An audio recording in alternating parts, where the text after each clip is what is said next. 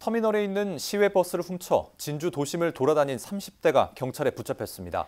역주행을 하며 중앙분리대와 가드레일을 충격하기도 했는데요. 다행히 인명피해는 없었습니다. 조서희 기자입니다.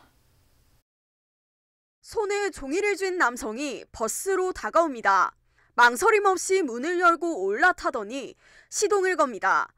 예열까지 마치고선 터미널을 빠져나가는 버스.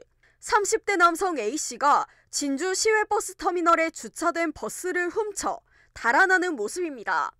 터미널에 나선 A씨는 훔친 버스로 상대동과 문산읍까지 진주 일대를 돌아다녔습니다. 역주행도 서슴지 않았는데 가자동에서 가드레일을 들이받은 뒤에도 운행을 이어갔습니다. 이 버스는 칠암동의 중앙분리대 30여 미터를 들이받고서야 멈췄습니다.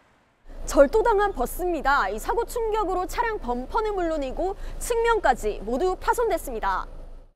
4시간 동안 이어진 운행에서 A씨는 40분간 버스에서 잠을 자기도 하고 이현동의 주유소에 들러선 소화기를 훔치기도 했습니다.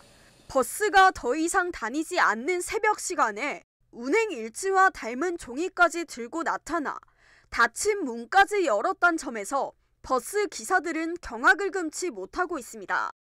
버스를 안다고 봐야 돼. 모르는 사람들은 이 버스 안에 들어가서도 이걸 어디서 눌리야, 뭐 눌려야 된다 그런 걸 작동을 잘 못합니다. 조사 결과 A씨는 실제로 대형 면허가 있는 것으로 드러났습니다. 다만 버스 기사로 일한 적이 있는지 여부는 파악되지 않고 있습니다. 경찰은 중앙분리대 파손 사고 신고를 받고 출동해 현장에서 A씨를 검거했습니다. 범행 동기 등을 조사 중인데 술을 마시거나 약을 먹진 않은 것으로 파악하고 있습니다. 약물 중독이나 음주로 인해 가지고 운행을 한다든가 범행을 한 것으로는 보여지지 않습니다. 경찰은 A씨에 대해 절도 등 혐의로 구속영장을 신청할 예정입니다. SCS 조사입니다.